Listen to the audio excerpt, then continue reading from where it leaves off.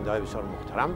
در درس امروز لطفا بعد از من تکرار بکنید بی از این بش روی درس با تکرار و تمرین حروف الف با شروع می‌کنیم. بعدا من اگه امتحان بسیار کوچک و ساده را خدمت شما تقدیم خود کردم و بعد از او یک پاراگراف از زمان حال با زبان ماضی تبدیل می‌کنیم. و در